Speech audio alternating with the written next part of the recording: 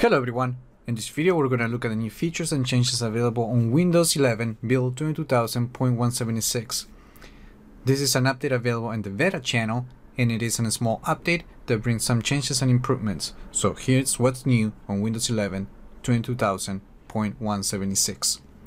In this flight, Microsoft is only removing the ability to right click the search, task view, widgets, and chat buttons to hide them from the taskbar. So you can no longer right click and choose to hide this button. However, you can still hide this icon.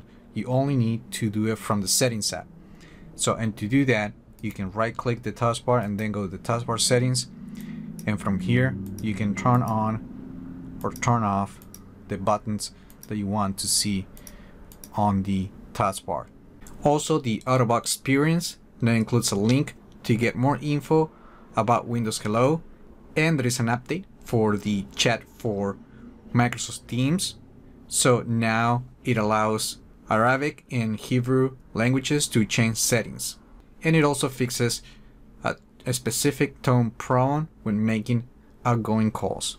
And that's basically all that's new on this flight. And that's because we're approaching to the final release, which is scheduled to be in October 5th and Microsoft is going to start the slow rollout of Windows 11 to new devices and then it will continue opening up the market to other devices with full release by mid 2022.